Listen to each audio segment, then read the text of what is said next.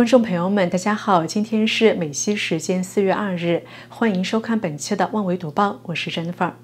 最近，大陆官方媒体报道，彭丽媛在湖南长沙雨花区洞井街道调研基层结核病防治工作，引起外界关注。有人传说彭丽媛要接班，甚至有人说已经是中班主任。彭丽媛进政治局的话题又一次被翻炒。但事实上，彭丽媛的这次活动，中共党媒根本没有报道。海外所有关注此事的媒体所引述的，都是出自中共的卫健委网站的消息。然而，海外中国问题专家。高薪研判，彭丽媛将循中国作家协会主席铁凝的路线，先担任副国级，最后任职全国妇联主席的职务。高薪披露，现任全国人大副委员长铁凝早年几乎成为习近平的情人，日后也得到了习近平的提拔，甚至其职务高于巴金。而彭丽媛很可能下届担任全国文联副主席，之后再升副国级，然后自然过渡到全国妇联主席。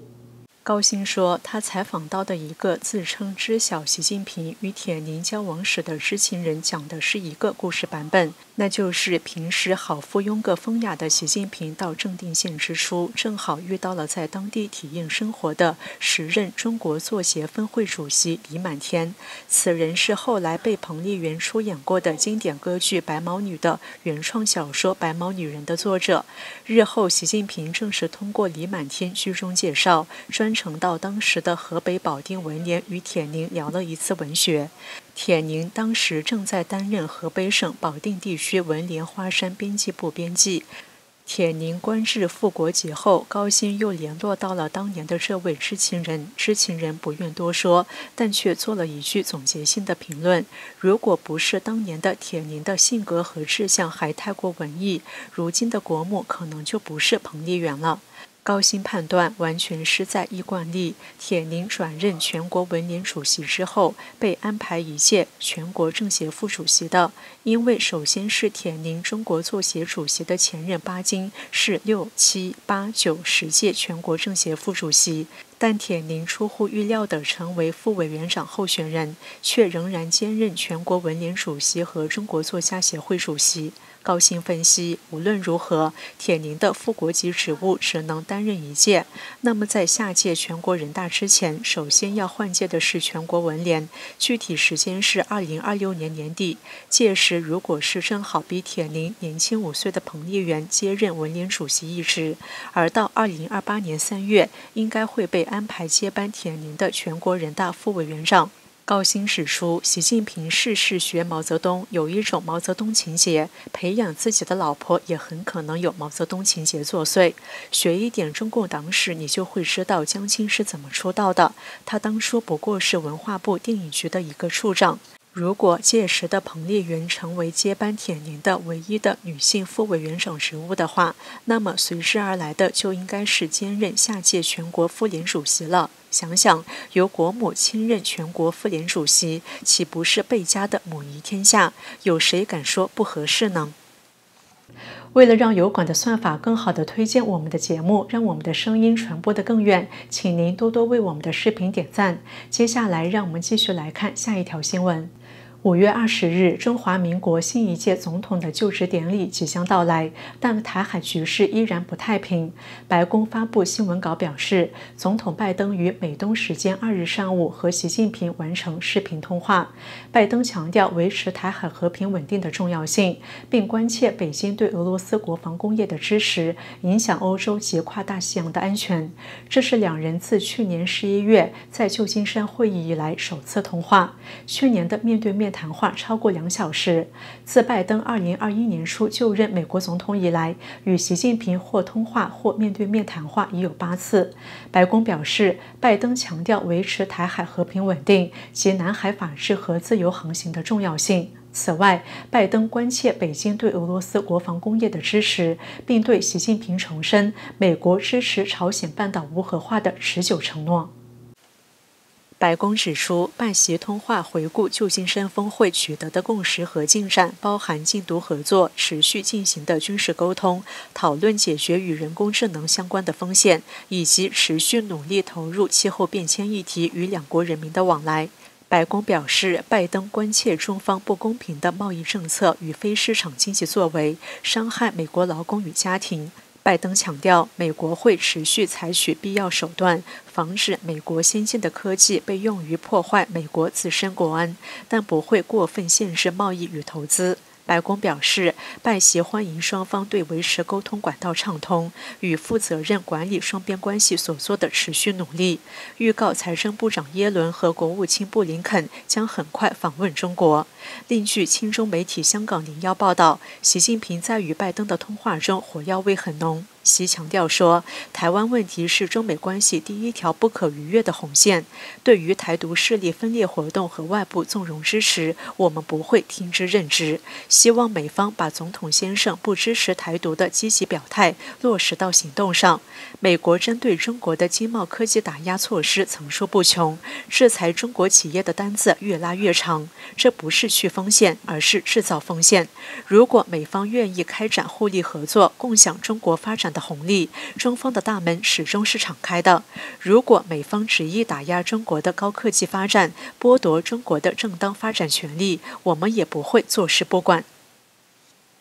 中华民国前总统马英九访问大陆到广东后，二日参访比亚迪公司，关注大陆电动车发展，教导台湾学生了解大陆的新发展成就。据报道，马英九不断发问，陪同的中共国台办主任宋涛说：“比亚迪技术别人永远追不上。”台湾的民进党立委陈冠廷隔海声讨，中共透过网络长城遏制人民接触世界，不允许人们针对政策权益发表意见，也让腾讯、百度等企业不用与国际对手竞争，闭锁青年人的思维。马英九基金会执行长肖旭岑却表示，两岸有历史渊源与特殊关系。抗中保台并不符合台湾利益。马前总统带年轻人去拼和平，民进党不要再扯后腿。旅美中国文革史专家宋永毅却表示：“我觉得没什么看头。台湾的无人机绝对不比中共差，大可不必去看。看历史古迹卢沟桥、黄花岗七十二烈士，看陕西皇帝轩辕陵墓无可厚非。比亚迪有什么意思？除非是去承认他们有所谓大成就。”台湾的国际法学会原副秘书长林廷辉建言：马英九不要只看大城市，应该去大陆乡下地方。那里连很多铺柏油、水泥路都没经费，大陆贫富差距就这么悬殊。宋永毅提到，马英九担任台北市长时曾与他见过面，原定半小时谈了一个半小时。马英九也曾在中央日报写作班批判文革，但宋永毅认为马本质上不是一个政客，思维方法比较简单，对共产党的奸诈和残酷没有切身体会。他这样的人哪能对付共产党？为何国民党老是失败？套句江泽民的话，就是太天真、太简单。宋永毅回忆，他当时对马英九说：“宋楚瑜连战到中国大陆去讲那些话，反应非常坏。”我说：“我劝你不要和大陆有接触。”他当时认同我意见，他说：“我没有任何到中国大陆的计划。”但现在我明显觉得马英九思维方式不像那时敏锐，现在的他有点糊涂。另外，外界关注习近平会否释放被拘押的金门现役军人。宋永毅说：“马的面子有没有这么大？不知道。上海搞出版的复查还在大陆关着吧？如果马英九愿意做这方面的工作，跟习近平说，你是不是能把我们台湾被抓的人释放？这就是做好事、做实事，去了就值得。不要去谈空洞的一国两制，成为习的统战工具。”全球技术竞争激烈，中俄朝伊邪恶轴心形成，安全问题日益严峻。四月一日，美国和英国签署了一项具有里程碑意义的协议，将在测试和评估新兴人工智能模型风险等方面进行合作。在世界各国推动对网络攻击和生物武器等新兴技术的风险进行评估之际，这项协议开创了在人工智能领域进行国际合作的先河。据英国金融时报报道，这项协议由英国科学、创新和技术大臣多尼兰和美国商务部长雷蒙多在华盛顿签署，旨在促进两国在人工智能安全技术知识、信息和人才等方面的合作。该协议将促使新成立的英国 AI 安全研究所与美国同类机构全面合作，共同研究如何独立评估由 OpenAI 和谷歌等公司建立的私人人工智能模型。同时，英国政府通信总部和美国国家安全局在情报和安全事务上的密切合作，也将以该协议为蓝本。雷蒙多则指出，这项协议将推动美英两国对人工智能风险的全方位评估，无论是对两国国家安全，还是对更广泛的人类社会，都至关重要。华尔街大鳄彼得·西夫最新警告，有重大事情正在发生，但朝鲜有投资者对此做好准备。他强调，更重要的是，各国政府和央行也没有为此做好准备。西夫解释说，美联储降息将使通胀问题恶化。欧洲太平洋资产管理公司 CEO 兼首席全球策略师彼得·西夫过去几天在社交媒体 X 平台上发布了一系列帖子，对美国市场和经济的健康状况发出多次警告。西夫在三月三十一日写道：“金价上涨三十美元以上是非常罕见的，更罕见的是金价在没有消息的情况下呈现这样的走势。现货黄金价格周一收盘大涨十七点七五美元，涨幅。”百分之零点八，收报两千两百五十点四九美元每盎司。金价周一盘中飙升两千两百六十五点六九美元每盎司，创下历史高点。西夫警告说，有重大的事情正在发生，但很少有投资者做好了准备。更重要的是，各国政府和央行也没有为此做好准备。西夫表示，看到大宗商品价格暴涨，而美联储继续声称通胀仍在滑向百分之二的轨道上，且降息即将到来，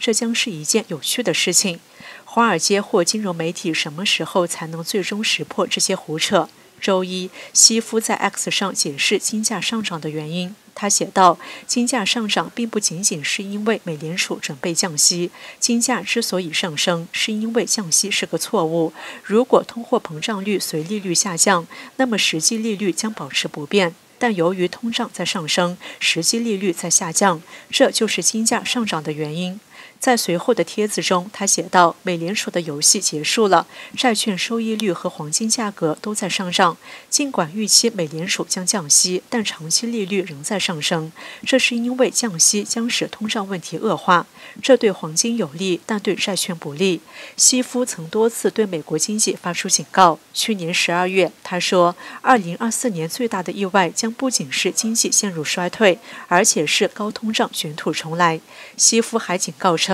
美元正处于历史性崩溃的边缘，这将改变美联储和美国经济的游戏规则，因为它将导致通胀、利率和失业率飙升。忘掉软着陆吧，这就是玉石俱焚。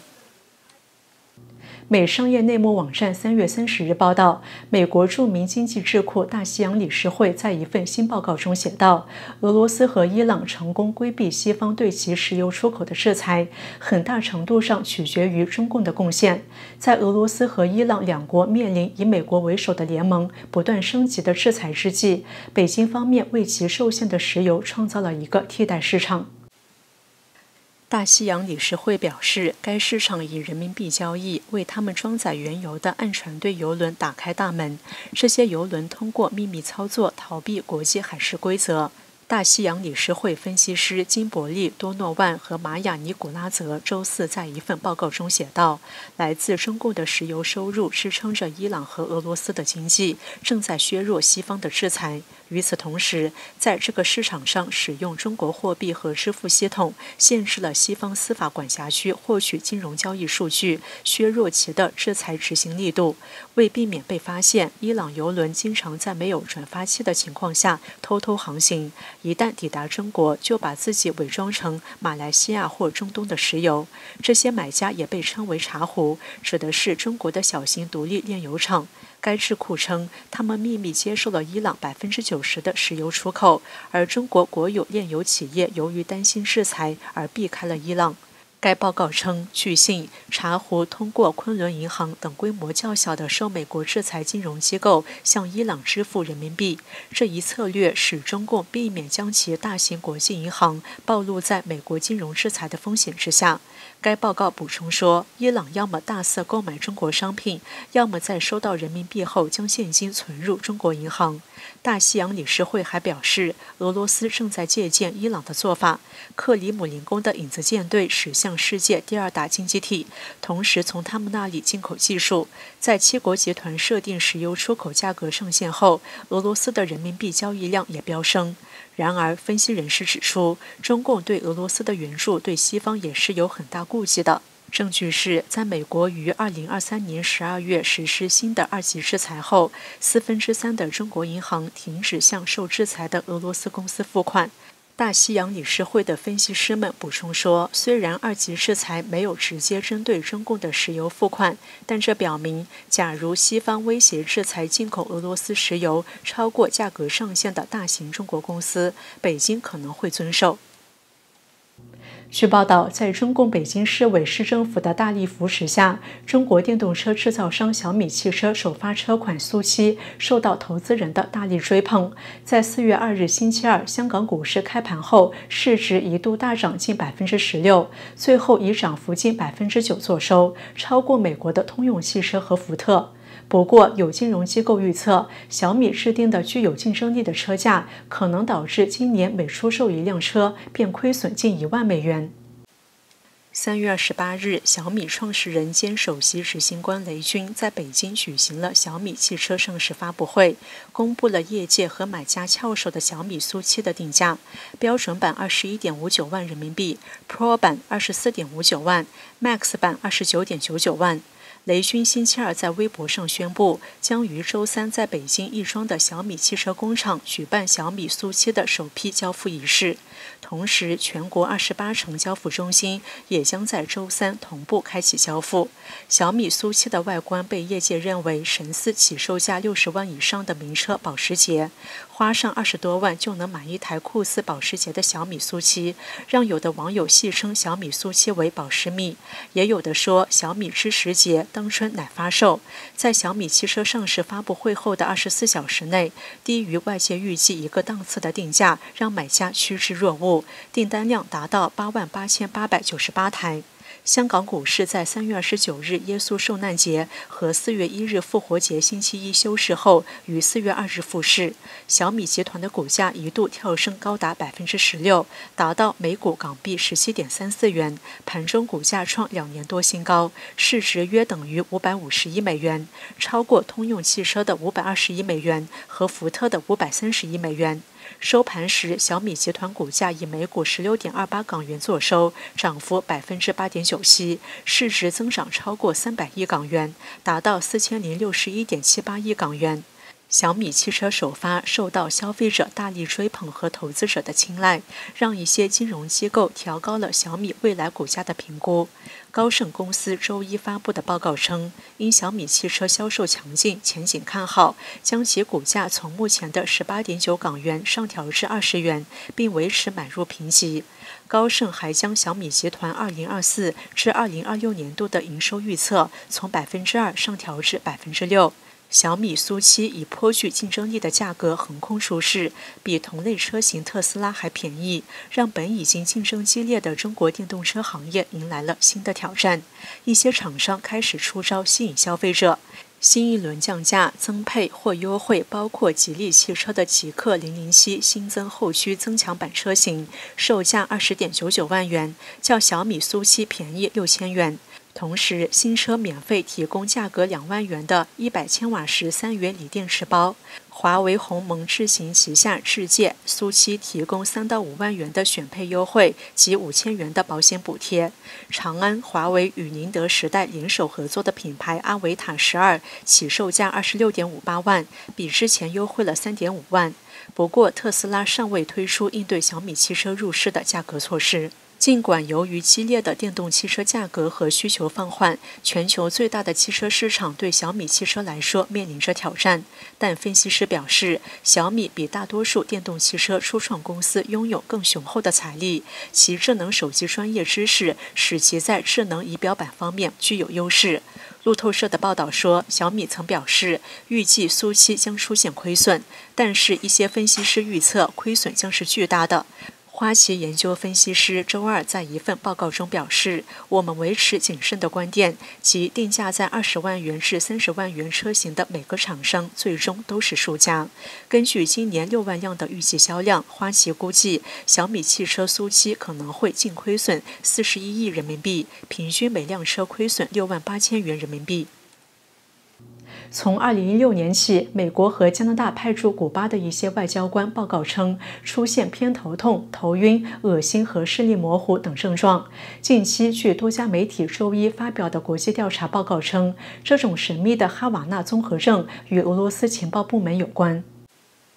神秘症状：偏头痛、头晕和视力模糊。自2016年以来，美国外交官们开始受到影响。最新调查结果由德国的《明镜周刊》和哥伦比亚广播公司进行，发现神秘的哈瓦那综合症听起来像是间谍小说中的情节，但现实显然超越了虚构。这长达一年的调查称，是俄罗斯人是幕后黑手，就是根据大量哈瓦那综合症报告让情况更加清楚。就是由格鲁乌暗杀小组二九幺五五部队进行与美国官员及其家人的神秘袭击有关。根据内幕调查记者报告，哈瓦那综合症是一种声波武器。调查积累了追溯受害者十多年来的证词，有照片显示，在袭击中与俄罗斯特工人员嫌疑人的行程有关。不过，所有这些都被俄罗斯断然否认。俄罗斯克里姆林宫发言人佩斯科夫表示，多年来媒体一直在调查所谓的哈瓦那综合症问题，俄罗斯人最常受到指责，但从来没有人发表或表达过任何令人信服的证据来支持这些指控。因此，这一切只不过是毫无根据的指控而已。根据内幕调查显示，哈瓦那综合症的首例病例于2014年发生在德国。此后，美国外交官又在奥地利、中国报告了此类病例。不过，在2023年3月的一份报告中，美国情报部门得出结论：没有可信的证据表明外国对手拥有这种声波武器。美国国务院发言人周一重申了这一声明。以上就是本期《万维读报》的所有内容，感谢您的收看。如果您喜欢我们的节目，请点击屏幕右下方订阅我们频道，同时也欢迎您点赞、转发、分享我们的视频。我们下期节目再见。